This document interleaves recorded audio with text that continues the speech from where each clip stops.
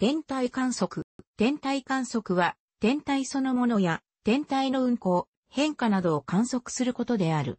天体観測は、肉眼で夜空を見上げることから始まり、双眼鏡や小さな望遠鏡を使って趣味的に行う則から天文台において大望遠鏡及び特殊な観測機器を用いた観測まで幅広く行われる。観測は主に地球上から行われるほか、人工衛星の軌道上からも行われる。主たる観測対象は星座や恒星、流星、火星や金星などの惑星、あるいは月の満ち欠け、星の動きなど。天文学は天体観測から始まり、天体現象の物理学的探求はデータ解析や仮説検証などによ行われる。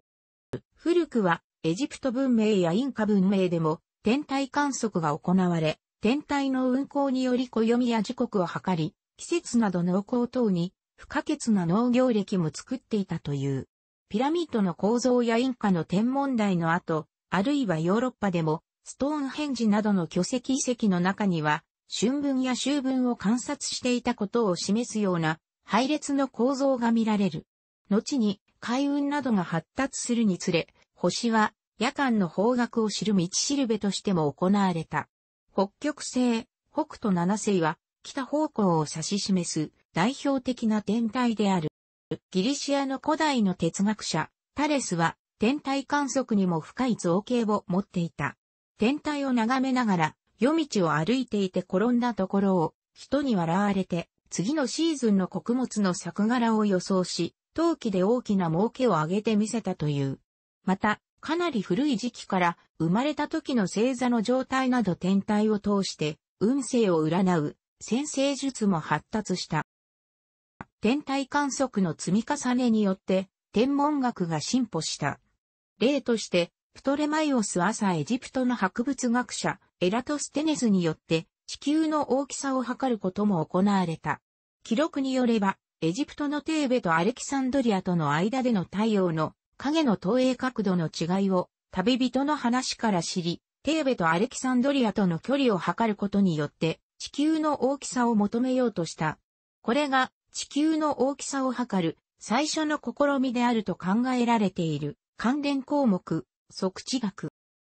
イタリアの物理学者、ガリレオ・ガリレイは、オランダのメガネ職人、ハンス・リッペルスハイが発明した望遠鏡を応用し、空に向けた。これが、天体観測が肉眼によるものから、天体望遠鏡による観測へ、劇的な進化を遂げた始まりであると考えられている。関連項目、天文台、天体望遠鏡。また、日本でも、藤原定家の暁期に、超新星 SN1054、大牛坂に星雲の記録が残っている。当時は、超新星を客星と記録していた。水星なども同じような記録として残っている可能性がある。中国では、漢王朝時代の太陽国天の記録が残っている。つまり、有史以来、世界各地で行われてきた科学研究である関連項目、天文学史。可視光以外でも天体観測が行われ、次のような観測研究分野がある。主として大型の機材等を用いる。また、FM ラジオを使った流星群の観測や BS、BS 放送用アンテナもしくは超短波通信用のアンテナなどを用いて太陽電波観測などを行っている観測者もいる。趣味や野外活動の一環として天体観測が行われている。観測をデータや記録などに残さない天体観測のことで天体観望、天体観賞とも呼ばれている。天文台や博物館が開催する星の観察会やキャンプでのスターウォッチングなど研究というより社会教育やレクリエーション的な側面でも行われている。下記には、ペルセウス座流星群や七夕、スターウィーク等にちなんで、星祭りと言われる観望会が各地で開かれ、多くの方が集まって天体観測を行う催しが開かれる。また、ニュースや気象情報などで取り上げられる大きな天体現象の場合には、各地の天文研究会などが主催して天体観測会が開かれたり、多くの人が観測を行う。環境省では全国星空継続観察事業を毎年夏と冬の2回開催している。天体観望から公害や大気汚染といった環境問題への関心を高めるものである。その他、天文台をはじめとして、博物館、プラネタリウムでの解説、テレビ番組への出演、天文雑誌や普及所への著作、監修によって普及活動が行われている。特に天体現象を撮影することによって、この分野で活躍する人も多く、そのための活動が行われ、また書籍も数多く出版されている。この分野で著名な人物として、磯部修造、村山貞夫、森本正樹、藤明、林漢字らが挙げられる。主として各地の神社や境内に保管されている隕石の紹介や小さな天体望遠鏡でも十分に可能である。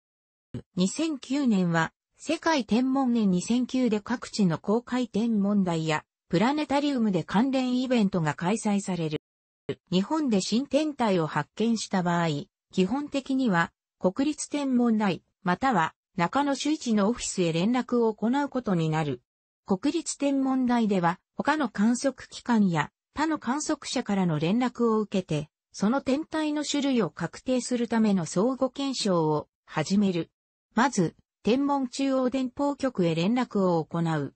ここからの連絡を受けて、各国の観測所では、発見者が連絡した観測点から推定される天体を観測して、軌道計算を行い、天体の速攻観測によって種類を確定する。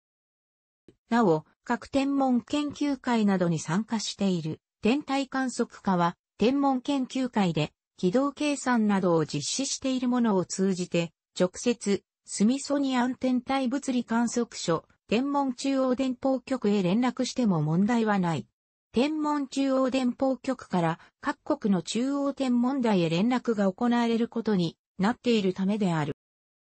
そこから小惑星の場合には小惑星センターへ、水星の場合には国際水星機構へ連絡を行う。そして惑星、小惑星、水星も含む等の場合には軌道を確定するための観測を行い、発見した天体を新天体として登録するための手続きを始める。新天体として登録を受けた天体は、水星の場合、発見者の名前がつく。小惑星の場合、発見者に命名提案権が与えられる。衛星の場合は、命名規則が厳しいが、発見者の希望が考慮されることがある。惑星の発見に関する規定はまだない。この分野で著名な人物として、本田実、池谷薫、関努、中野修一らが挙げられる。ある程度の大型の機材が必要なため、高回天問題での観測や職業として天体観測を行っている者が参加している分野である。楽しくご覧になりましたら、購読と良いです。クリックしてください。